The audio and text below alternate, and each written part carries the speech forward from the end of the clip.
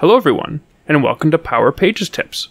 My name is Nicholas Hayduke, and this is tip number 172 Dataverse Search. Since the days of ADX Studio, the search functionality on a Power Pages site has been provided by Lucene.net. However, in late 2021, Microsoft released a preview version of a new search implementation based on the Dataverse search, the same search service used in model driven apps.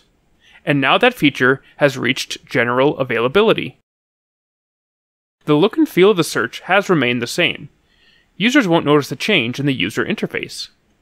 However, Dataverse Search does provide some nice features that the Lucene.net implementation didn't offer.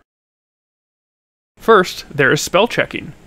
If a user misspells a word, the search will do its best to return results based on the correct spelling. It can also recognize common abbreviations and acronyms, like Corp for corporation and MS for Microsoft. Existing sites will continue to use Lucene.net until you enable Dataverse Search, using the search forward slash enable Dataverse Search site setting. But as of version 9.4.4, any new sites will use the new Dataverse search by default. Microsoft recently announced that the Lucene.net search is deprecated, and that you'll need to migrate away from it by October 2023. In our next tip, we'll take a closer look at how to set up Dataverse search for Power Pages.